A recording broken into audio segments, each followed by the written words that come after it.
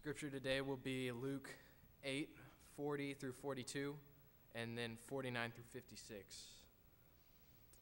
Now, when Jesus returned, a crowd welcomed him, for they were all expecting him. And then a man named Jairus, a ruler of the synagogue, came and fell at Jesus' feet, pleading with him to come to his house, because his only daughter, a girl of about 12, was dying. While Jesus was still speaking, someone came from the house of Jairus, the synagogue ruler. Your daughter is dead, he said. Don't bother the teacher anymore. Hearing this, Jesus said to Jairus, Don't be afraid, just believe, and she will be healed. When he arrived at the house of Jairus, he did not let anyone go in with him except Peter, John, James, and the child's father and mother. Meanwhile, all the people were wailing and mourning for her. Stop wailing, Jesus said. She's not dead, but asleep. They laughed at him, knowing that she was dead. But he took her by the hand and said, My child, get up. Her spirit returned, and at once she stood up. Then Jesus told them to give her something to eat. Her parents were astonished, but he ordered them not to tell anyone what had happened.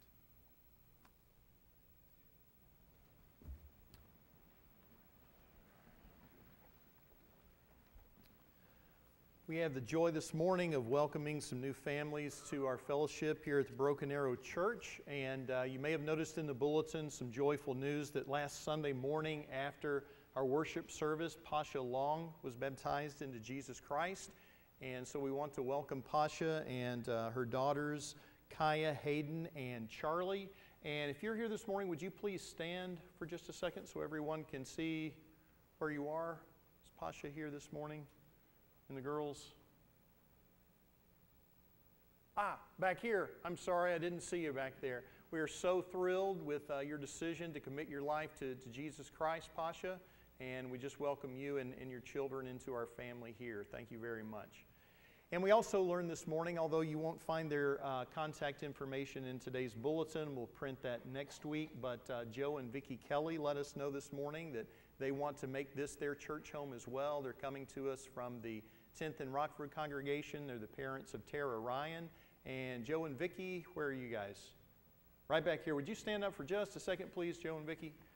Thank you very much. We welcome you as well and look forward to working with you and, and worshiping together and uh, fulfilling the will of God for this church. You'll notice in the bulletin an announcement about the launching of the Friend Speak ministry, and that's going to begin on uh, Saturday, did I put it down here?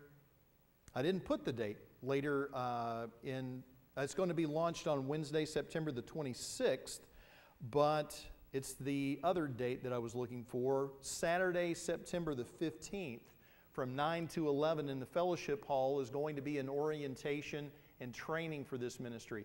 Back maybe a year or so ago, we talked about this ministry. We had a training seminar and it's been in the works since then, and we're excited that this is about to be launched.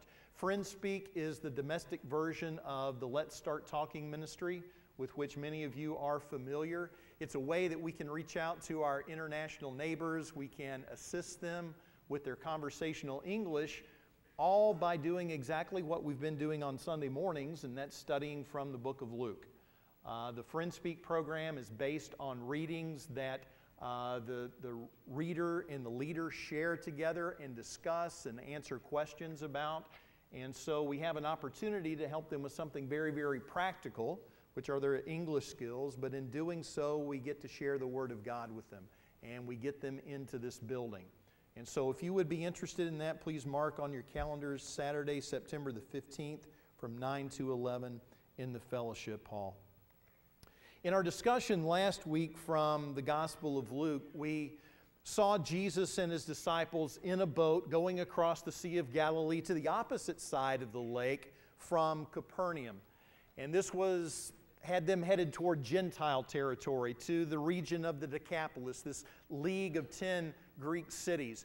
And on the way, one of the Gospels tells us that they left in the evening, so this is a nighttime crossing. And as is prone to happen on the Lake of Gennesaret or the Sea of Galilee, this storm just burst upon them.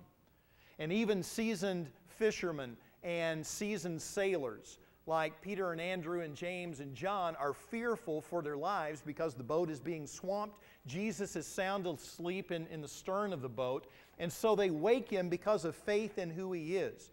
We noticed last week that, that fishermen don't wake, awaken carpenters for sailing advice.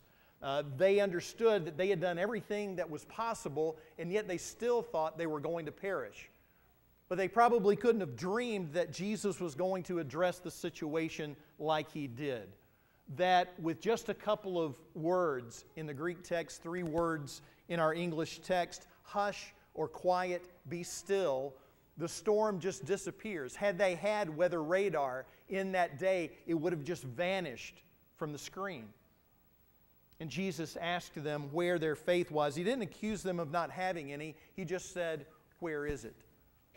And while they had been afraid of the storm, now they are fearful and in awe of him. And we notice when they arrived at the, the encounter with this man who was possessed by a legion, by a brigade, we would use the term today, probably about the same number of, of soldiers uh, are, are in a brigade as we're in a legion. But we saw this terrible state of, of torment and torture that this man had been in living among the tombs, crying out day and night, gashing himself with stones, naked, probably covered with dirt and grime and dried blood and healing wounds.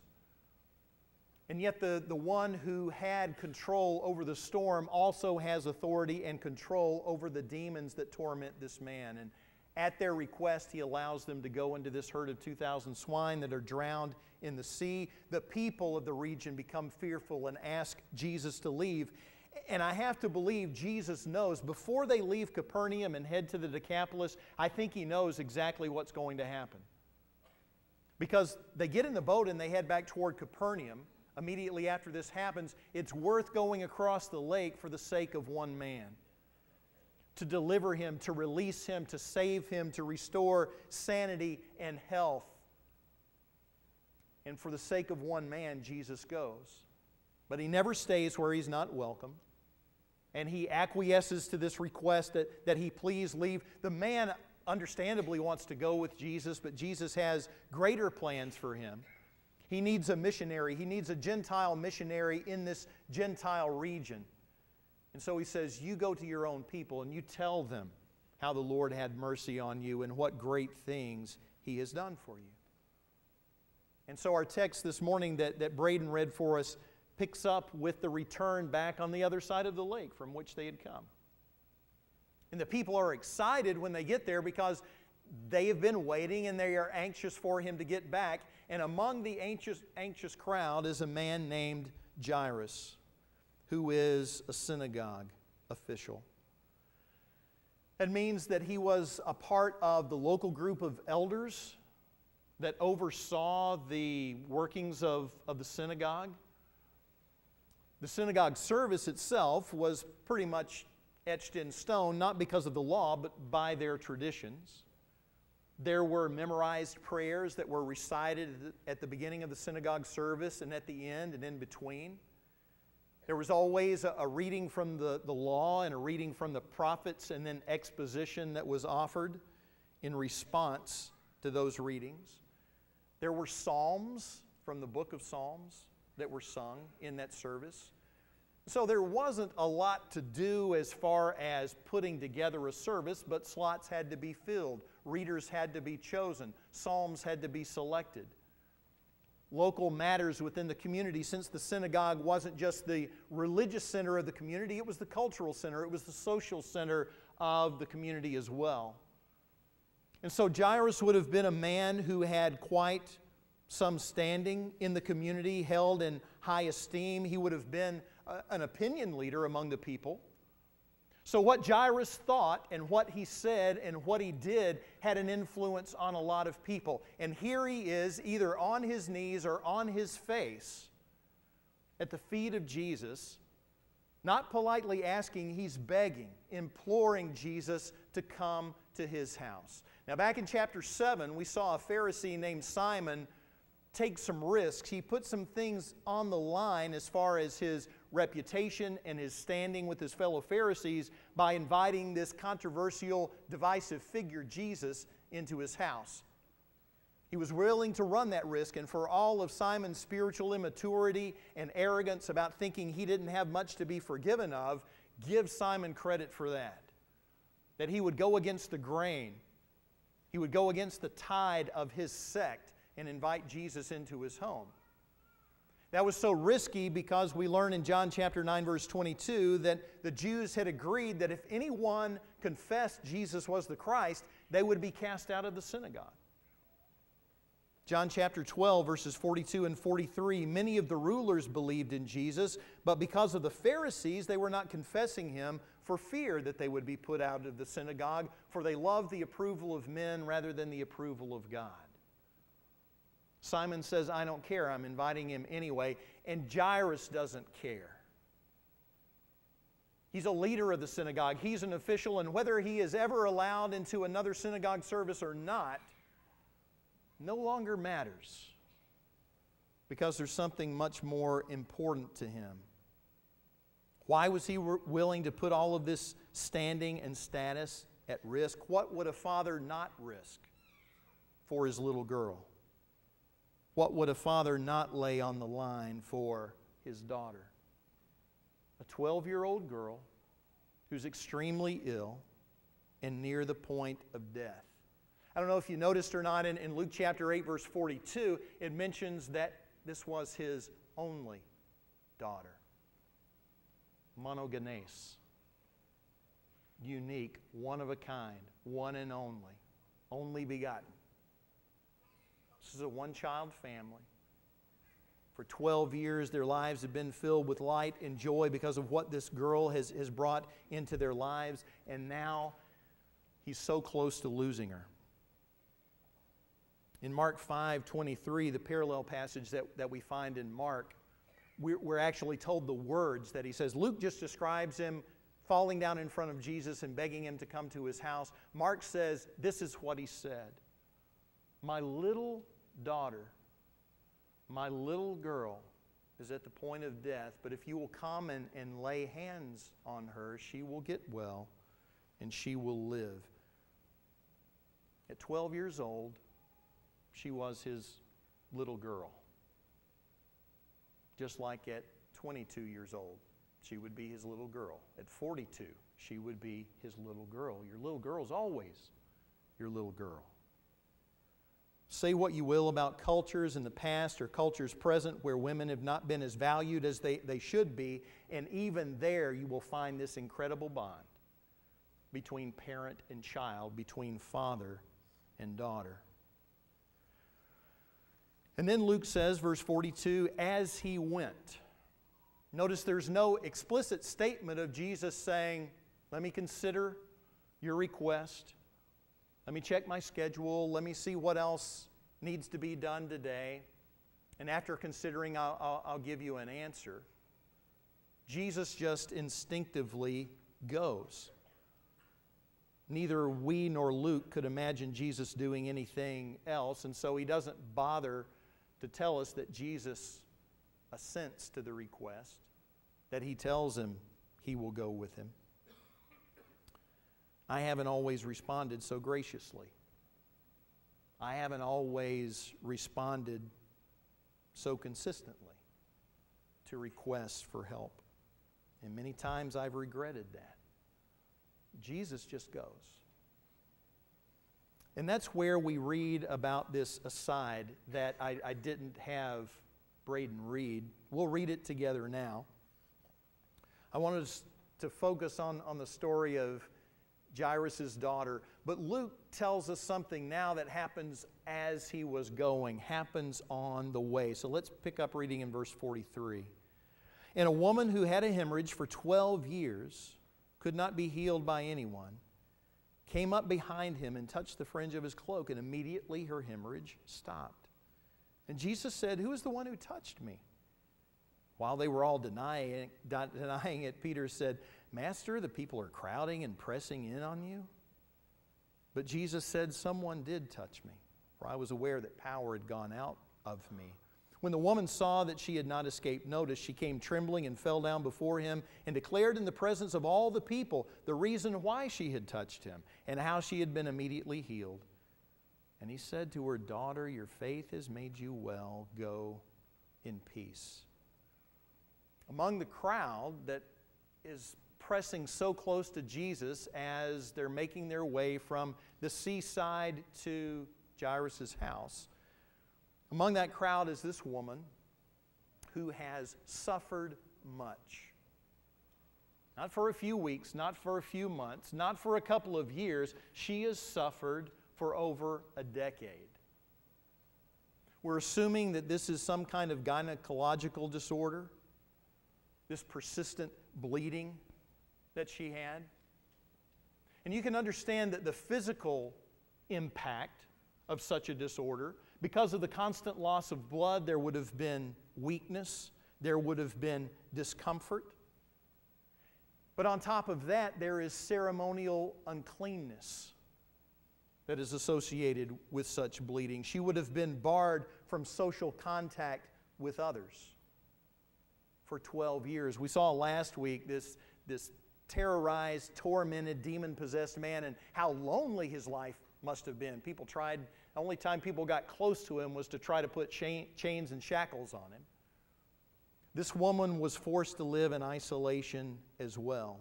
She hadn't only lost her health, Mark tells us that she had lost all of her wealth.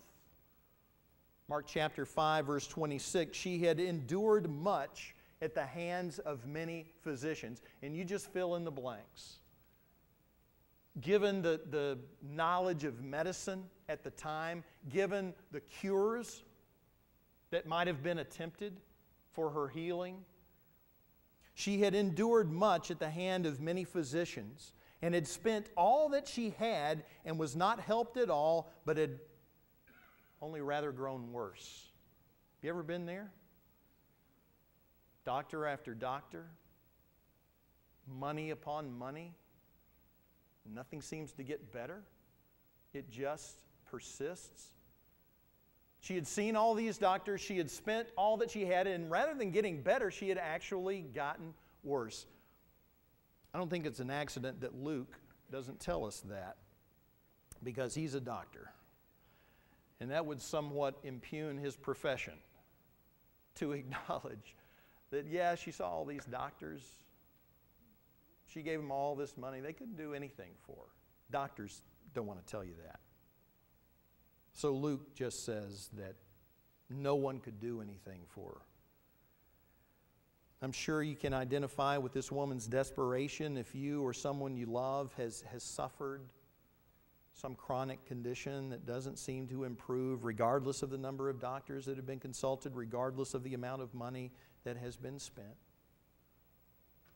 But like Jairus, she has faith. Now, understand, Jairus has faith. And he knows what that might cost him, being cast out of the synagogue. He has faith in Jesus that if you'll come, things will change. This woman has faith in Jesus, so much faith that she doesn't even want to interrupt him, she doesn't even want to slow him down. But Matthew and Mark record for us her thinking. She thinks, if I can only touch him, I will get well. And so, based on this line of thinking, she approaches Jesus, probably from behind, touches the fringe of his garment. Most outer garments among the Jews had the, the tassels on all four corners of the outer garment, tassels that are described in the Old Testament. Would have been totally imperceptible physically. It'd be like you being wrapped up in a big parka in the wintertime and you got a scarf wrapped around your neck and you've got the end of the scarf thrown over your shoulder and somebody just brushes two or three tassels on the end of the scarf. Can you feel that? I can't feel that. You wouldn't be able to feel that. No man or woman would be able to feel that, but Jesus knows. Luke says immediately, and we started studying Mark in the 40s class this morning, and, and immediately it was one of Mark's favorite words. Luke uses it here as well. Immediately the bleeding stopped. Mark says, immediately the flow of her blood was dried up, and she felt in her body that she was healed of her affliction. No debate within her about, you know, think I might be starting to feel a little better. It's been 12 years. She knows. It's like daylight and dark. It's not gradually getting your strength back after a few weeks of bed rest. She is healed, and she knows that she is completely healed of her affliction. And Jesus asked, Who is the one who touched me? And Peter, and probably the other disciples as well, are up to their usual misunderstanding, second guessing selves. And you can almost hear the agitation and impatience with Jesus in the voice of Peter. Understand, they just saw a hurricane disappear out on the lake. They saw 2,000 pig carcasses floating in the lake, driven there by, by demons. And he still wants to get impatient with Jesus.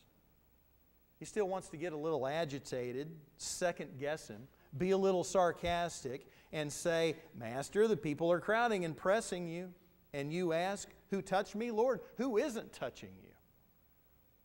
No, you knucklehead, Jesus probably thought. I'm not talking about that. Somebody touched me. Not a casual touch, not an inadvertent or incidental bump. Now understand that, that when she touched him and power came from him, Jesus' power was not some sort of impersonal force or energy.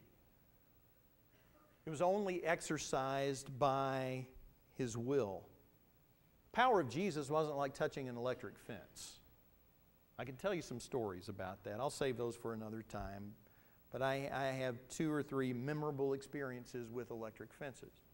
The, the fence doesn't have to exert its will and say, I think I'll shock you. You just get the jolt. You know, it, it shakes you to your, um, to your shoes. You feel it in your teeth. And it's not that, you know, he's at 100% and he feels this power drain. You know, he loses some bars and it goes down to about 78%.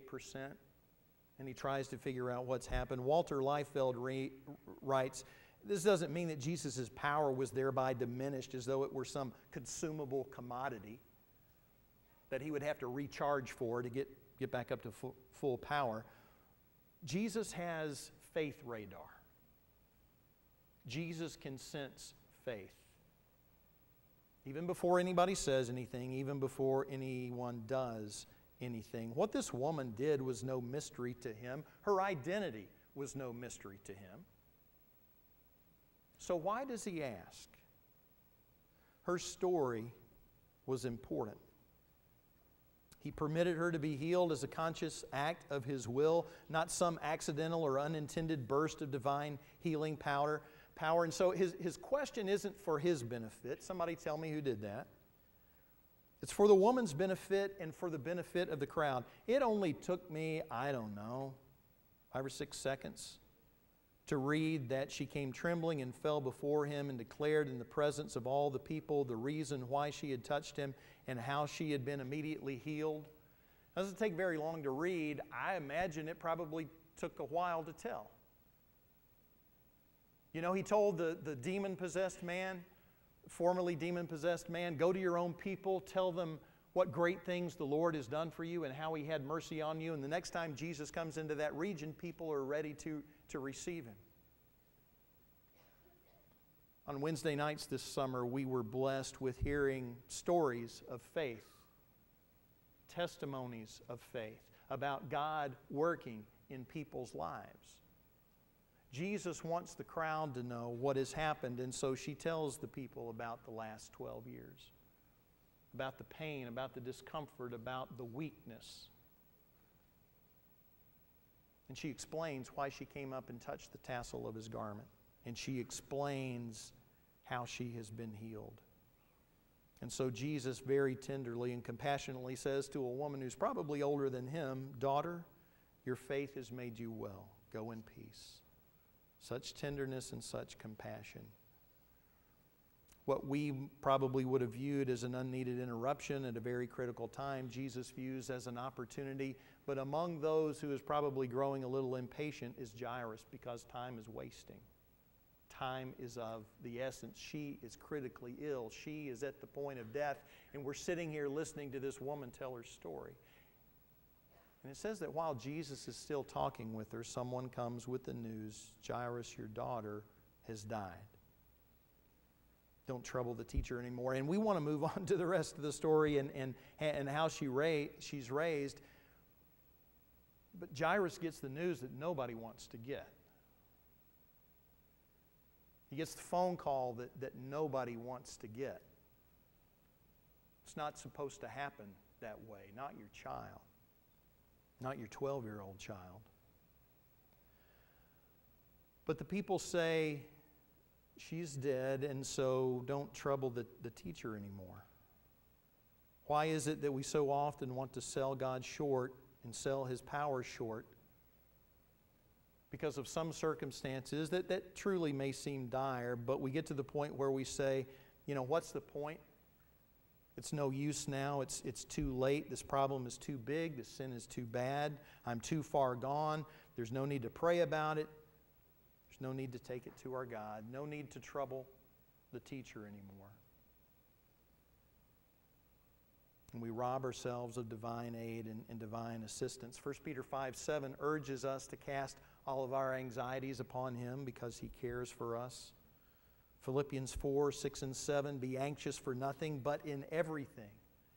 By prayer and supplication with thanksgiving, let your requests be made known to God, and the peace of God, which surpasses all comprehension, will guard your hearts and your minds in Christ Jesus. This connection between prayer and, and peace. And James's admonition in chapter 4, verse 2 you do not have because you do not ask. They mistakenly thought that death is where the line is. Death is where the line is drawn that separates things that God can do something about and things where God has no ability to intervene. But Jesus isn't troubled by the news, unlike Jairus, who's got a thousand things running through his mind right now. Jesus just tells him, Don't be afraid, only believe. He already believes. He's like the man we're going to consider a little later. I do believe. Help my unbelief. But to demonstrate to us now that we have nothing to fear in death, to help us understand that death is not terminal, Jesus proceeds on to the house. Death is not an undefeatable master. And when they arrive at the house and Jesus sees the mourners and those who are lamenting legitimately and, and genuinely and very understandably why all these people are crying, grief does funny things to us. We can go from, from tears to laughter in an instant. And they do as well when they hear Jesus mention that she's not really dead, she's only asleep. Their tears temporarily are, are turned to laughter. By sleep, Jesus didn't mean that she was only comatose. She was clinically dead. She was dead by biblical definition. Her spirit had departed from her body because later we read about it returning. Sleep is just used as a metaphor for death because of its, Im- its impermanence. Sleep is temporary. We wake up. Death, physical death, is temporary. There is life beyond. And so, as he does on other occasions, he leaves the larger group of disciples behind. He asks Peter, James, and John to come with him. I think in two weeks on our next Cloud of Witnesses study, on, on our next Life Group Sunday, I, the suggestion was made that we talk about James and John, the Thunder Brothers. I think I'm going to call that Thunder Up. Um, you know, Cloud of Witnesses, Thunder Up, James and John. And so we may be talking more about those two in a couple of weeks. But as he does on the Mount of Transfiguration, as he does in the Garden of Gethsemane, he takes these three inner circle apostles along with the mother and the father, and he takes her cold hand into his warm hand. And Mark gives us, we talked about this in class, how Mark seems to be writing for a Gentile audience, and so he explains Aramaic terms when he uses them. And Mark gives us the Aramaic words that Jesus said, Talitha cum, which Mark says means, Little girl, I say to you, get up just like her mom and dad had probably said to her on innumerable mornings. Little girl, get up. Her departed spirit then returns and reanimates her body, and she immediately got up. And again, Luke seems to be pressed for time. He, don't, he doesn't give us the details of what must have been an incredible emotional scene as they enwrap her in a, in a seemingly unending embrace in the arms of her mother, in the arms of, of her father. And there's so much joy and so much celebration over this restored life that Jesus sees fit to remind them about more mundane things like you should probably give her something to eat, something that they may have just overlooked in their elation over the situation.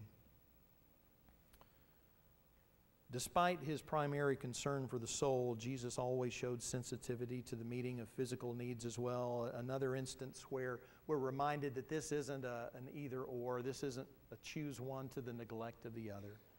Like him, we seek to meet spiritual needs and, and physical needs. But in this instance, as he does elsewhere, Jesus loudly and boldly declares death is not terminal, it's not the end. The spirit returns to God who gave it, and one of these days it will be reunited with a, a, resurrection body on that last great day, imperishable, incorruptible, glorious, bearing the image of the heavenly and not the image of the earthly.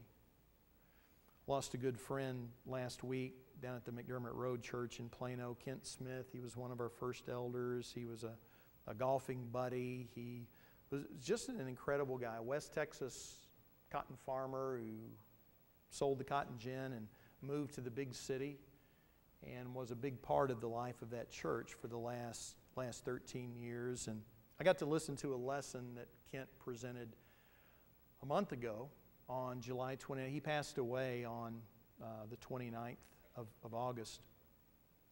And on July 29th, on a Sunday night, he shared a message. The video was on the website, and I knew it was there, but I hadn't hadn't watched it till about Friday or Saturday. The memorial service was yesterday, and I thought, you know, I need to hear what Kent said a month ago. A month before he died, not knowing that cancer was going to take him within a month. But he talked about assurance and confidence, and he referenced Philippians chapter 1 that to live is Christ and to die is gain, and that he didn't know which way this thing was going to go. Sometimes he seemed, seemed like he was getting better, at other times it seemed like things were getting worse, and he honestly said, It, it doesn't matter to me. I win either way. No way he could know that a month into the future that, that would happen, but Kent believe death isn't terminal. Death isn't the end. We'll close by reminding ourselves of the very first verse that Braden read. And as Jesus returned, the people welcomed him, for they had all been waiting for him. Jesus would leave Capernaum ultimately for the last time. Jesus would leave Jerusalem ultimately for the last time. Jesus would ascend back to the right hand of his Father in glory. But he would say, I'll be back. I'm going to prepare a place for you. And if I go and prepare a place for you, I will come again, receive you to myself, so that where I am, there you may be also. Jesus is returning. The question for us is are we awaiting anxiously for him to get here? Can we welcome him when he comes? As Jairus so anxiously wanted to welcome him, so that life could be brought out of death. If that hope and confidence isn't yours today, we pray that you would make it yours before you leave here uh, like Pasha did last Sunday morning. Before we left here, she confessed her faith in Jesus Christ. She was united with him in baptism for the forgiveness of her sins. If you need to be united with Christ in baptism this morning, if you need to return to a life of faithful discipleship, if, if like so many in this congregation, you're just, just bearing burdens that need to be brought before the throne of the Father so that peace may come to your heart, we urge you to come while we stand and sing together.